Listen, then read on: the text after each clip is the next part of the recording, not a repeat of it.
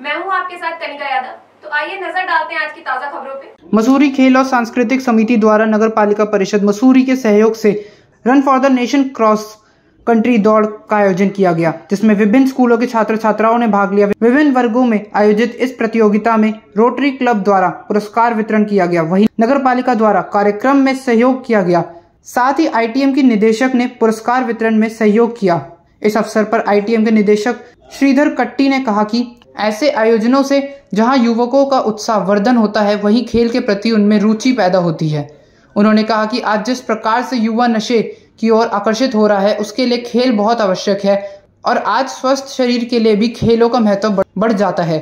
उन्होंने आयोजन समिति को बधाई देते हुए कहा कि इस तरीके के कार्यक्रम से आजकल की युवा पीढ़ी को एक नई दिशा मिलेगी। यह अवसर पर मसूरी खेल एवं सांस्कृतिक समिति के अध्यक्ष सैमुअल चंद्र ने बताया कि ये ग्यारहवीं run for the nation cross country प्रतियोगिता है और हर वर्ष इसका आयोजन किया जाता है कि आज इस प्रतियोगिता में विभिन्न स्कूलों के छात्र छात्राओं ने प्रतिभाग किया है। आयोजित किया था। किस तरह का ये कार्यक्रम था और कितनी टीमों ने इसमें हिस्सा लिया?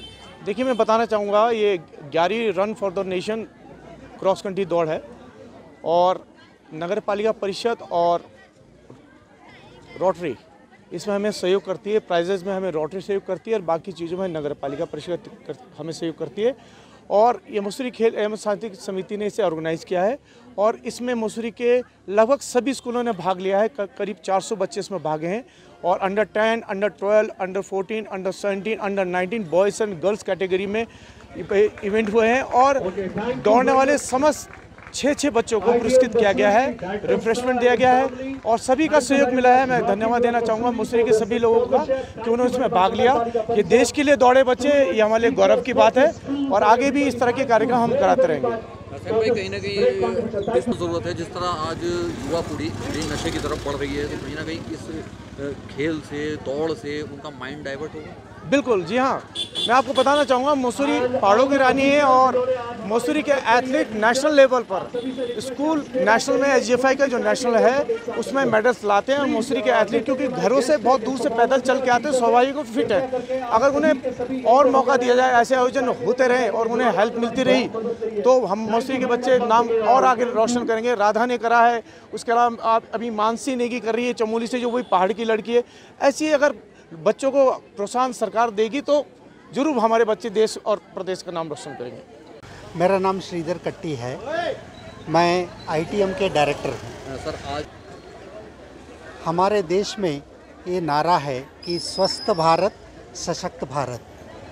हर एक भारत निवासी अपने आरोग्य को इतना अच्छा बनाना चाहिए स्वस्थ बनाना चाहिए क्योंकि ये कहावत है कि sound mind in a sound body जब तक हम अपने सेहत की पूरी ख्याल नहीं रखते हैं, तब तक हमारे विचार आइडियाज़ इतने ब्राइट ना हो सके कि हम पूरी दुनिया में अग्रसर हो जाए।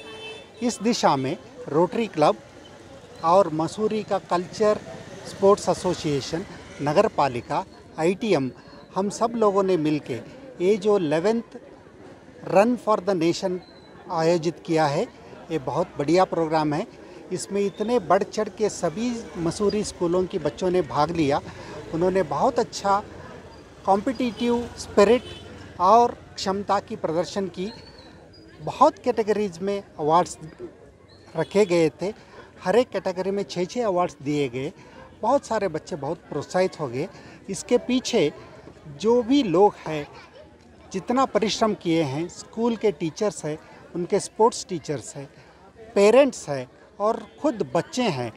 उनके मैं सब अभिनंदन करना चाहूँगा और उनकी सराहना कराना चाहूँगा कि हमारे देश की जो नीति है कि सेहत के बारे में प्रामुख्यता देना चाहिए इसकी तरफ़ सबकी रुझान आ गई है। ये बहुत अच्छी बात है। सर क्या मानना है ये बहुत आपने सही प्रश्न पूछा क्योंकि आजकल जो गलत दिशा में बच्चों की आकर्षण करने की प्रथा चल रही है, वो नशा हो या अल्कोहल हो, इन सबसे दूर हटाने में ऐसे कार्यक्रम बहुत कामयाब हो सकते हैं, क्योंकि इसमें ना केवल प्रतिस्पर्धा है, इसमें भाईचारा भी है। अलग अलग स्कूलों के बच्चे साथ में आएँगे, जब यहाँ पे तीन चार घंटे उन्होंने बिताए हैं, एक दूसरे से बात करेंगे, और हमारे जैसे काफ़ी एक्सपीरियंस लोगों से उनकी बातचीत हो जाएगी, हमारे सुझाव सुनेंगे। तो ज़रूर उनकी मार्गदर्शन अच्छा होगा और उनका दिशा सही होगा। आज के लिए बस इतना ही। बने रहिए टुडे 24 न्यूज़ के साथ।